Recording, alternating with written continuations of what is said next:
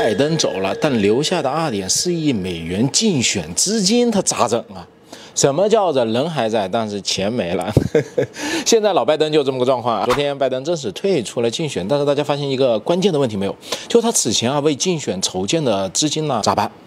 可不少钱呢啊，达到了二点四亿美元，差不多二十多亿人民币。这是彭博社今天新闻总结的一个数字。肯定很多人觉得，那谁接替拜登，谁就收着这个钱呗？不是的啊，亲兄弟还明算账呢，对吧？这些钱都是资本家给的，你可以要资本家的命，但是你想要资本家的钱，它不存在的啊，那他真的给你豁命啊。其实啊，这二点四亿美元分成好多个部分，简单划分一下，一块呢是候选人团队可控的竞选资金，差不多应该是九千六百万的美元。虽然拜登下去了，但是他现在支持副总统哈里斯，而且哈里斯又一直是这个竞选人团队的二号人物，所以这个钱呢，哈里斯是可以用的。其实呢，这也是为啥哈里斯百分之九十九会代替拜登参选了，钱啊，对吧？如果是别的候选人上来，别说那高达二点四亿美元没有，就连这九千六百万美元他都没有，需要从零开始去筹钱。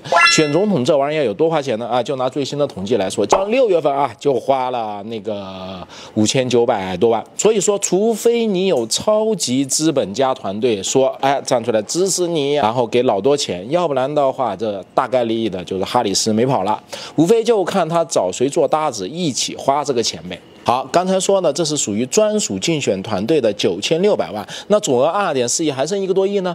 这个钱呢，主要是民主党总部和各地方分部的钱。虽然明面上不属于拜登团队，但是各种竞选花钱，他们也是配合着花的。比如说你到我这个州来竞选，我也去打广告啊，也花这个钱。那现在能不能给那些接替者花呢？不行啊，这样得算明白。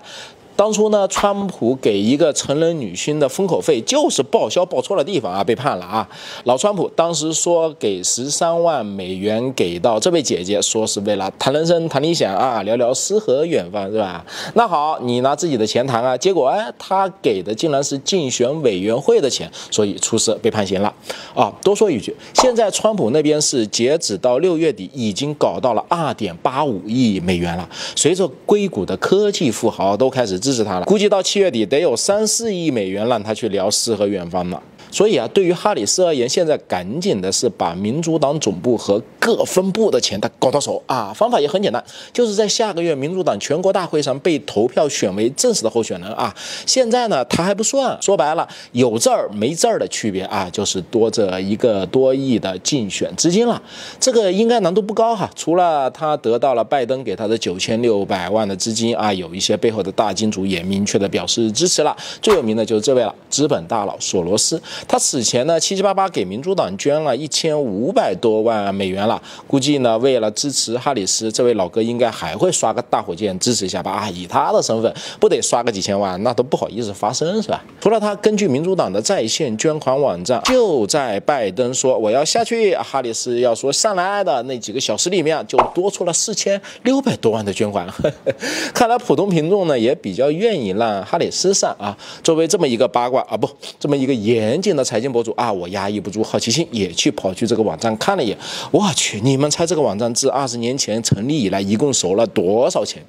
一百四十亿美元啊，一千多亿人民币。这么说吧，可以造半条全世界运量最大的高铁——京沪高铁了啊！要知道，这还只是一个平台呀，他们还有各种七七八八的捐款平台啊，捐的钱那就更多了。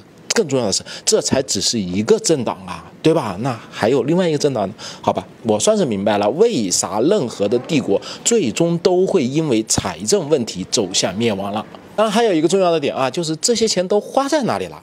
打广告，打广告，接着打广告，对吧？所以呢，你们猜为啥那些有话语权的媒体和媒体集团各种鼓吹这种烧钱玩的制度？哎呦，这个制度就是好。是他们的买卖呀，所以他会鼓吹是吧？别急，这场烧钱的游戏还没烧到高潮呢。如果你也对这场游戏感兴趣，来点点赞，持续关注，第一时间给大家带来这场游戏的最新进展。